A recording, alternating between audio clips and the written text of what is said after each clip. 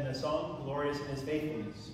In Christ's emphasis on the Eucharist, our final week of the Bread of Life Discourse, he invites us to really place our choice in him, our confidence in him, the love that he has for us, and the grace he desires to share with us. We lift up our prayers and intentions, calling to mind those most in need of our prayers, those who have asked us in a particular way for our prayers. And brothers and sisters, we take a moment as we call to mind our sins, to prepare ourselves to celebrate these sacred mysteries. You were sent to heal the contrite of heart. Lord, have mercy. Lord, have mercy. You came to call sinners. Christ, have mercy. Christ, have mercy. You are seated at the right hand of the Father to intercede for us. Lord, have mercy. Lord, have mercy. May Almighty God have mercy on us, forgive us our sins, and bring us to everlasting life. Amen.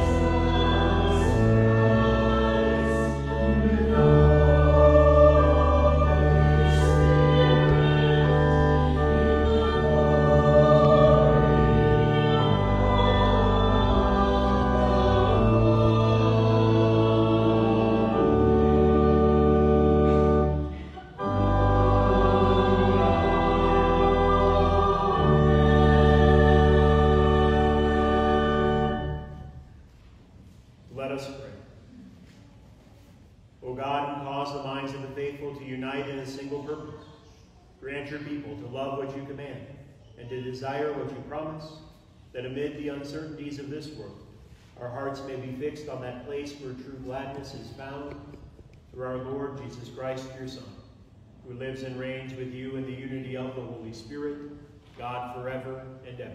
Amen.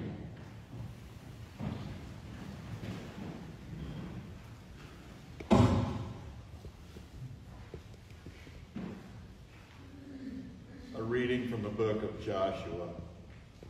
Joshua gathered together all the tribes of Israel at Shechem,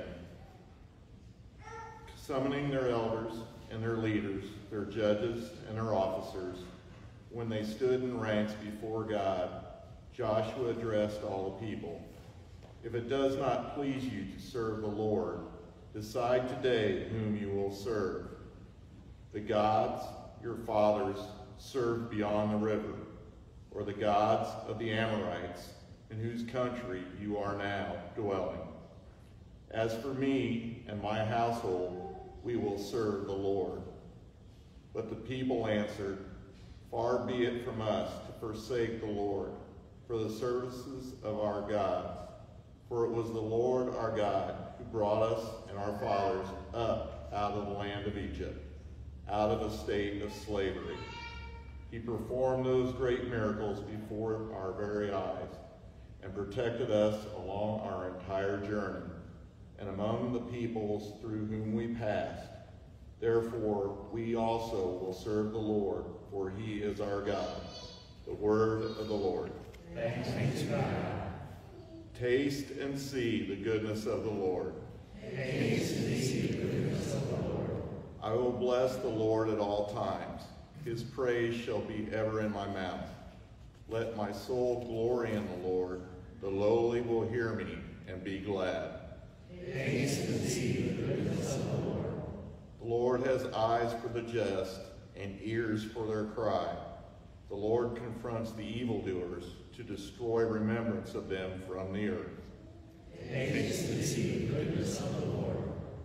When the just cry out, the Lord hears them, from all their distress he rescues them. The Lord is close to the brokenhearted, and those who are crushed in spirit he saves. Taste and see the goodness of the Lord. Many are the troubles of the just one, but out of them all the Lord delivers him. He watches over all his bones, not one of them shall be broken. Taste and see the goodness of the Lord. A reading from the letter of St. Paul to the Ephesians.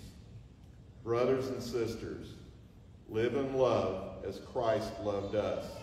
Husbands, love your wives, even as Christ loved the church and handed himself over for her to sanctify her, cleansing her by the bath of water with the word, that he might present to himself the church in splendor, without spot or wrinkle or any such thing, that she might be holy and without blemish. So also husbands should love their wives as their own bodies. He who loves his wife loves himself. For no one hates his own flesh, but rather nourishes and cherishes it, even as Christ does the church, because we are members of his body. For this reason, a man shall leave his father and his mother and be joined to his wife, and the two shall become one flesh. This is a great mystery, but I speak in reference to Christ and the church. The word of the Lord. Thanks be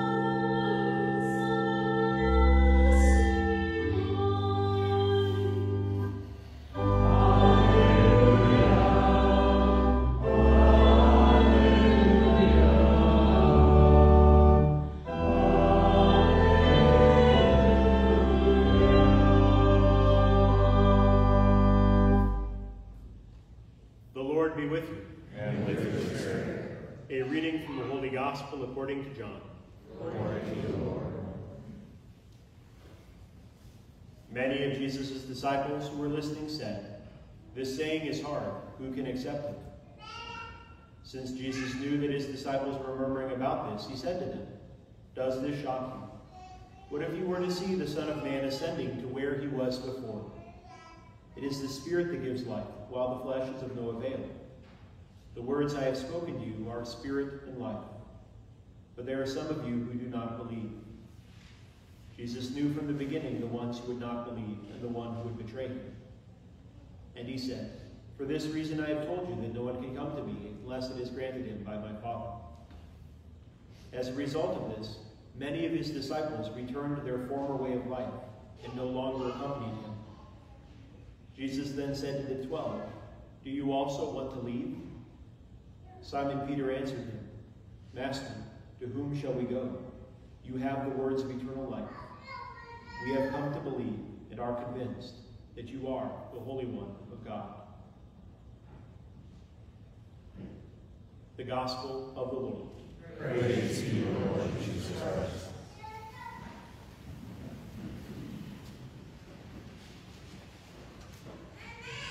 As a kid, one of the things that was very popular, and still I'd say even more so popular today, is the world of video games. Video games have expanded and expanded more and more and more. That they're somewhere where you can find an easy challenge, or I should say not necessarily always easy. You can find a real challenge, you can find competition, you can explore new worlds, all these different things, and do so from the convenience of your own house without having to take the risk, you know, of racing cars or whatever it may be, fighting, combat, whatever types of games it might be. That I think for us, there's something that's appealing because, again, they let us go into those other worlds, but without the risk that that might entail. We can save the game. If it doesn't work out, we can try again. Uh, we can control the characters in the game. That you know, we press the button and they respond. It, they never just kind of get lazy or get distracted or get frustrated and won't do you know what the controller says. That there may be technical problems, but as long as everything's working, you know, it does what we want it to do. It's different from real life. It's different from what we encounter in this world. That in our life, it's not as easy and simple. We have moments where we really have to make choices. We can't just press save and go back and you know try something if that doesn't work out. We likewise uh, contend in our own life with our own weaknesses. That we're not just a video game character that is automatically controlled. That we have our habits, we have our strengths, we have our weaknesses, we have you know, all these different things that factor in. That life is a gradual process of growth. That it's not an easy transformation, or it's not something that's as simple as pressing the right button. That this can be challenging for us. It's something that can cause us to kind of shy away. I think we see that, that in our world we have more and more that temptation to want to try to live in a world of our own creation. We want to try to create kind of an environment where we can have things the way we want them, but not maybe to contend with those other aspects of life. But that if we don't confront our real self, we can't really grow. We can only have the illusion of growth. That if we kind of avoid those challenges or those moments of decision, it's not that we become better or greater in a sense, but that we just simply uh, can kind of hide away from, from those moments of growth. And the pain or the difficulties that those can entail, you know, make us understand, I think, and have sympathy towards why that temptation is powerful. But that there's something greater than just kind of hiding. There's that real growth and transformation. Those moments of real decision. That the Greek word of decision uh, strikes us as differently. The Greek word for decision is crisis, a crisis. So for us, we think of a crisis as something really to be avoided if at all possible. That's because of the reality of how difficult decisions can be, that that word's taken on that connotation. But again, those moments can also be great moments of grace. That we see a crisis in the, a moment of crisis in the gospel. That Jesus here is finished his bread of life discourse.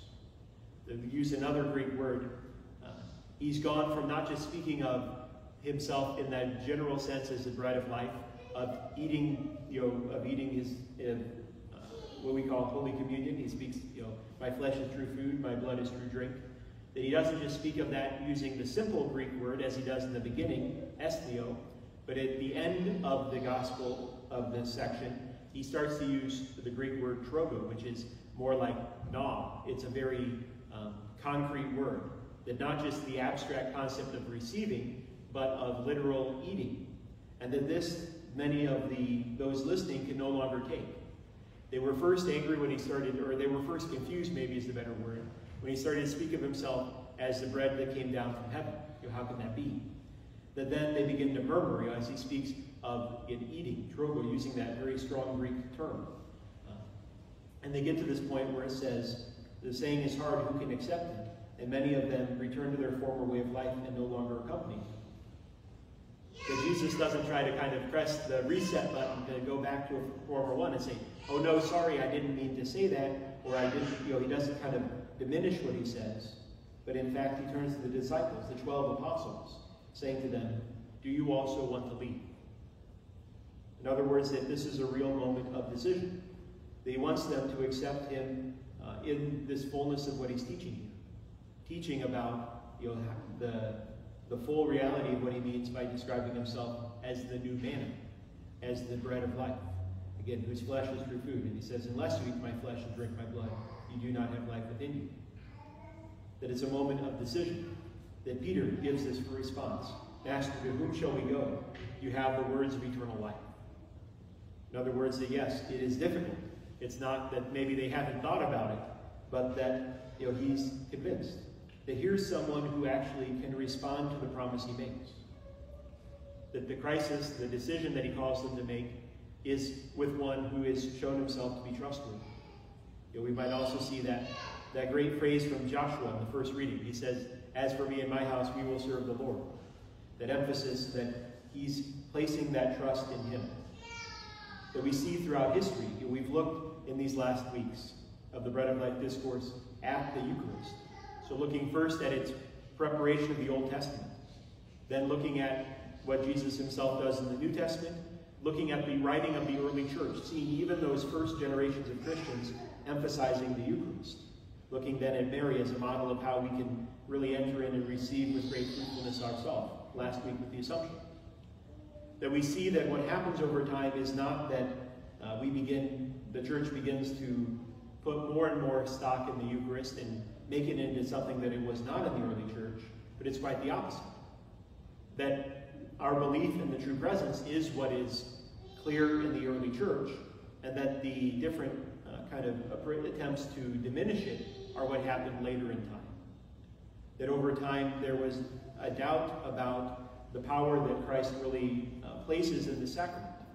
That that doubt has translated into many different ways of wanting to diminish the real uh, truth of Christ being here with us, the truth of his power to save us in thinking of that kind of virtual temptation that we have. That we want to take Jesus, take the challenge of Jesus, and make him into something more manageable. Making his words into something that we can kind of control and we can kind of keep um, in our own mind. But a Jesus that's just of our own creation doesn't have the power to elevate ourselves, doesn't have a chance to really save us. That we become lost, left to just our own self. Again, knowing our own self, if we've really encountered ourselves, I think we want something more than just our own strength to face the world. We want something than just our own uh, battle, interior battle, to be uh, left to the strength of our will. That is, it's a, a losing uh, proposition, so to speak. That Christ invites us to put real trust in Him, you know, in the real world where there's real decisions and real consequences to make him a real priority, manifested in our way of life. And that he promises that in that we don't lose anything. That in saying that yes to him, we don't lose anything that, that makes life truly good, that makes us truly happy and fulfilled. In fact, he invites that we will find something deeper. But again, it's that slow and gradual transformation in many cases. That it's that lifelong process of letting Christ live in us more and more fully to be more and more full and radiant with the presence of Christ. It's not easy, it's not uh, a, a, flip of a switch, but it's something that is really powerful.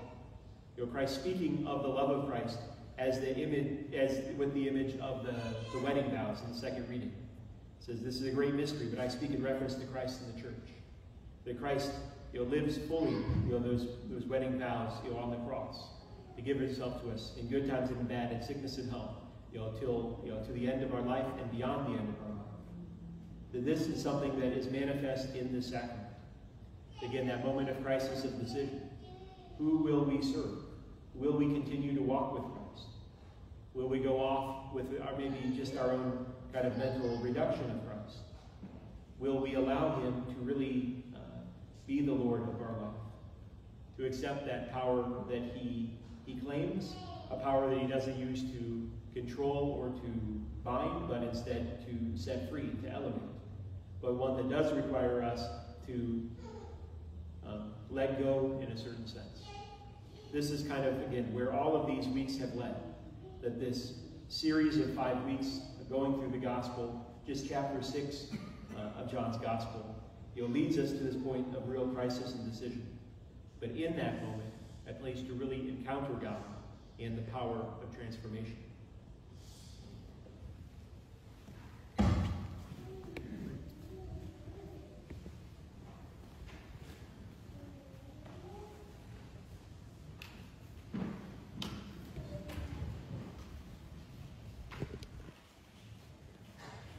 The creed is drawn uh, largely from the early church baptismal formula, formula, that statement of dedication to God, Father, Son, and Holy Spirit.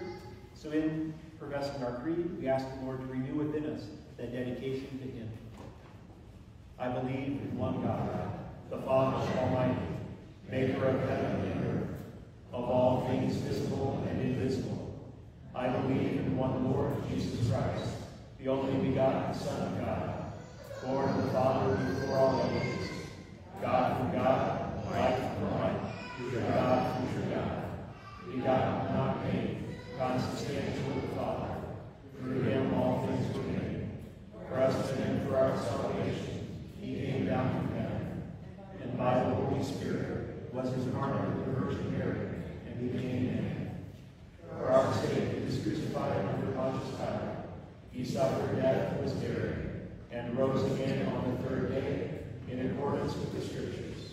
He ascended into heaven, and is seated at the right hand of the Father. He will come again in glory to judge the living and the dead, and his kingdom will have no end. I believe in the Holy Spirit, the Lord, the giver of life, who proceeds from the Father and the Son, who with the Father and the Son is adored and glorified, who has spoken through the prophets. I believe in one holy Catholic and Apostolic Church. I confess one baptism for forgiveness of sins, and I look forward to the resurrection of the dead and the life of the world to come. Amen. Spirit of confidence, let us raise now our prayers and petition. For the disciples of Jesus, persecuted today for their beliefs, that they be strong in faith and steadfast in compassion, let us pray to the Lord. For nations crushed by debt, that the community of nations help restore them to financial health, let us pray to the Lord. For all who have suffered loss from acts of violence, and for a world free from terror and war, let us pray to the Lord. For the sick, especially those in constant agony, that they receive effective pain relief and know God's closeness, let us pray to the Lord. For the members of this community, that they respect one another's differences and unite in love, let us pray to the Lord. For all the intentions written in our parish book, for those on our cancer quilt, for those who have served in the military, living and deceased, for vocations to the ordained and consecrated life, and for Doug Rocky, for whom this Mass is offered, let us pray to the Lord. For the protection and purification of the church here and throughout the world, let us pray the prayer to St. Michael the Archangel. St. Michael the Archangel, defend us in battle. Be our protection against the wickedness and snares of the devil. May God rebuke him, we humbly pray. And do thou, Prince of heavenly hosts, by the power of God, thrust into hell Satan and the other evil spirits who prowl about the world for the ruin of souls. Amen. Almighty God, we lift up our prayers and intentions. We ask that you hear and answer them according to your holy will. In the name of Jesus Christ, our Lord. Amen. The offertory hymn is number 39. God, we praise you.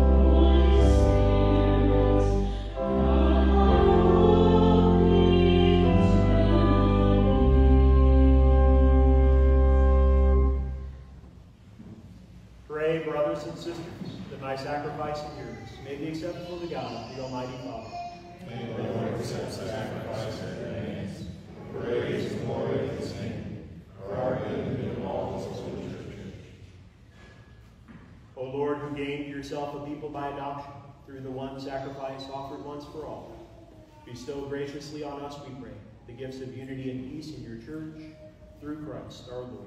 Amen. The Lord be with you. And with your spirit, Lift up your hearts. we lift them up to the Lord. Let us give thanks to the Lord our God. It is right and just.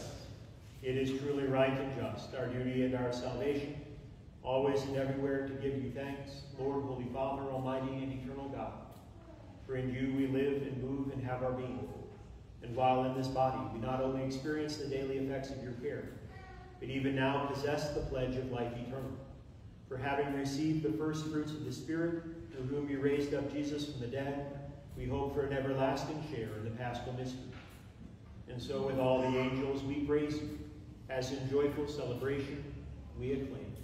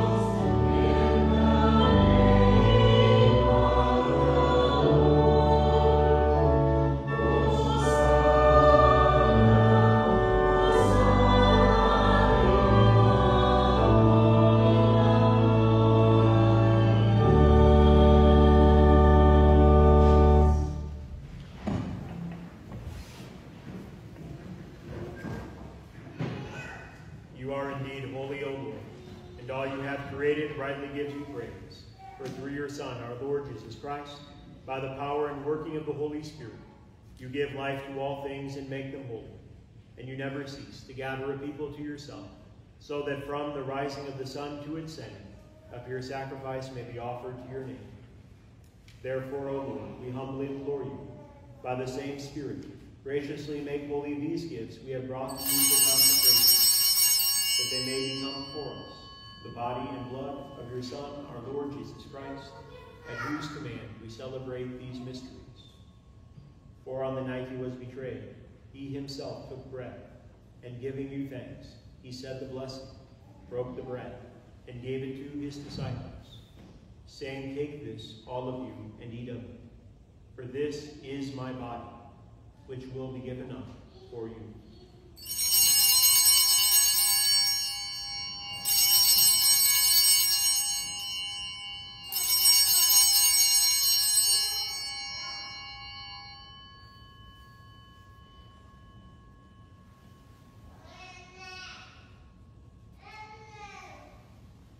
In a similar way, when supper was ended, he took the chalice, and giving you thanks, he said the blessing, and gave the chalice to his disciples, saying, Take this, all of you, and drink from it. For this is the chalice of my blood, the blood of the new and eternal covenant, which will be poured out for you and for many for the forgiveness of sins. Do this in memory of me.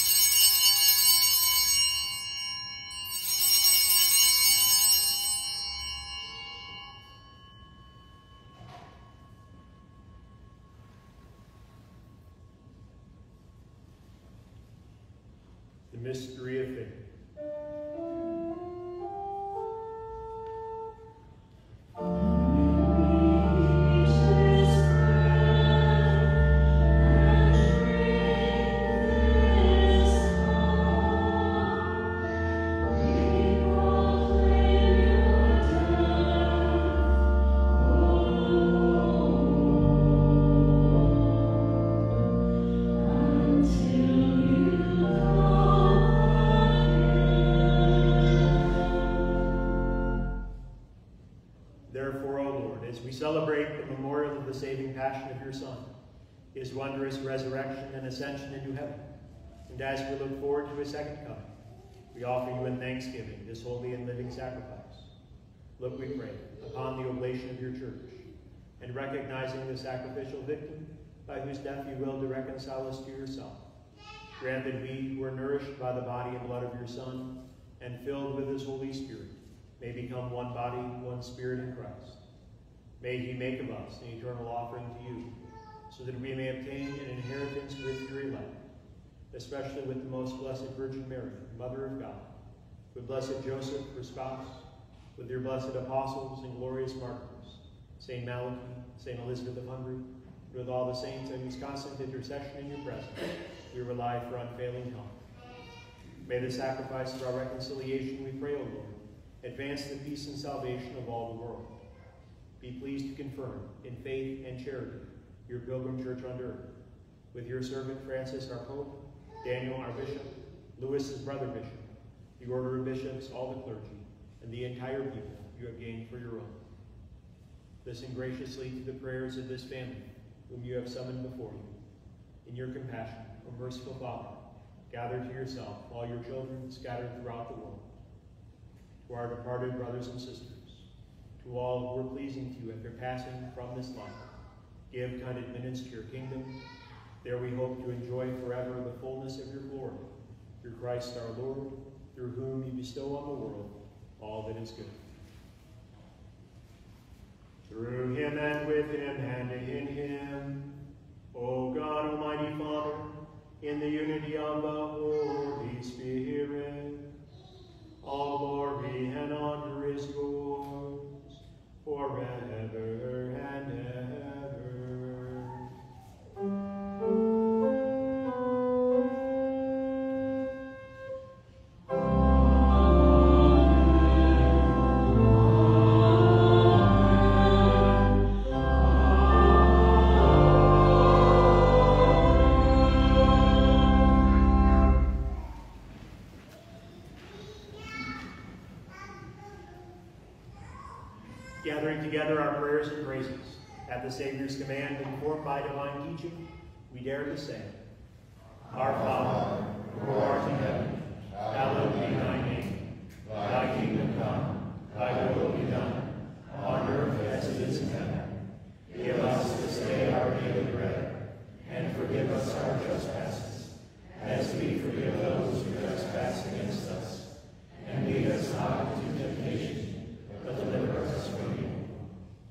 Deliver us, Lord, we pray, from every evil.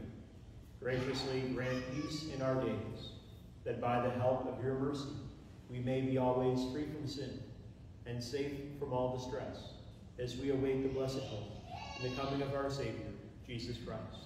For the kingdom, power, and glory forever. Lord Jesus Christ, who said to your apostles, Peace I leave you, my peace I give you. Look not on our sins, but on the faith of your church. Graciously grant her peace and unity in accordance with your will, who live and reign forever and ever. Amen. The peace of the Lord be with you always. And with your spirit.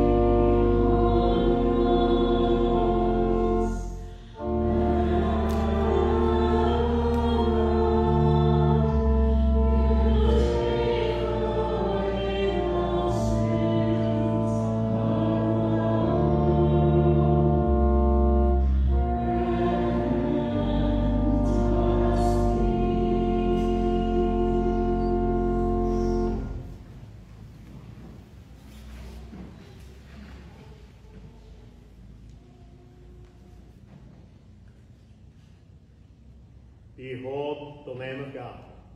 Behold him who takes away the sins of the world. Blessed are those called to the supper of the Lamb. Lord, I am not worthy that you should enter under my roof, but only say the word, and my soul shall be healed.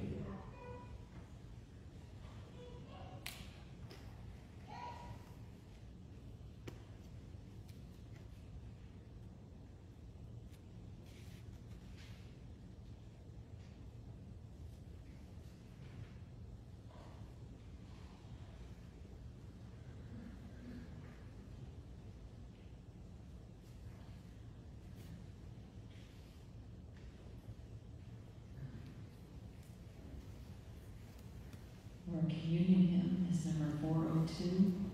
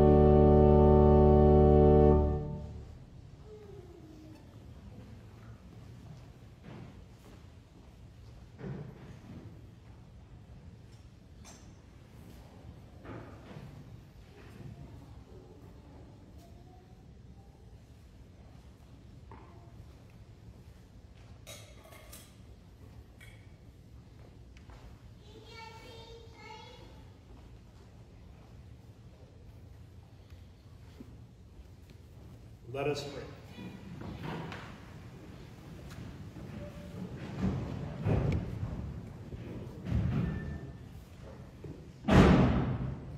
Complete within us, O Lord, we pray, the healing work of your mercy, and graciously perfect and sustain us, so that in all things we may please you, through Christ our Lord.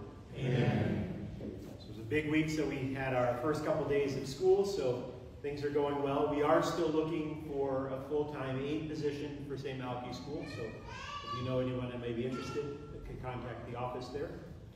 We have, uh, as I mentioned, come to the end of these cycle of readings on John chapter 6. So what's next? Well, next weekend we'll actually do our Stewardship Sunday, so it includes Saturday night as well. But we'll have Saturday night and Sunday, an opportunity to kind of talk a little bit of a State of the Union address of kind of how the parish did this past year, and then kind of what are our plans and what are we working on this new year? What are the different opportunities to kind of uh, put our yes to the Lord into practice in different uh, ways to grow? Uh, a lot of different things. So I look forward to that next week, sharing again a lot more practically about what we'll be doing this new semester.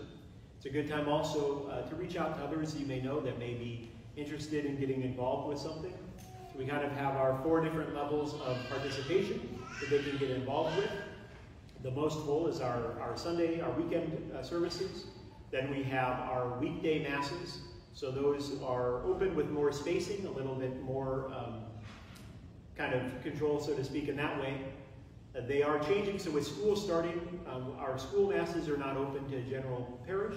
So our daily masses are 6 p.m. here on Tuesday, 7.15 Wednesday and Thursday at St. Malachy, then noon at St. Malachy. We have a couple outdoor services, so on Sunday morning at 10, or sorry, at 11.15, we have outdoor confessions at St. Malachy. So Sunday morning, outdoor confessions. Then Sunday afternoon at 2 o'clock, we have outdoor communion here at St. Elizabeth. And then our, our kind of third, fourth level, we also have our online uh, available. So just to reach out to others, like I said, next week we'll really be talking about what's going on this year. So a good time to kind of check in with people and to kind of see where they may be and how they might get involved, you know, in one of the different ways. The Lord be with you. And with your spirit. May Almighty God bless you, the Father, and the Son, and the Holy Spirit. Amen. Go in peace. Thanks be to God. Our recessional hymn is number 432, Amazing Grace.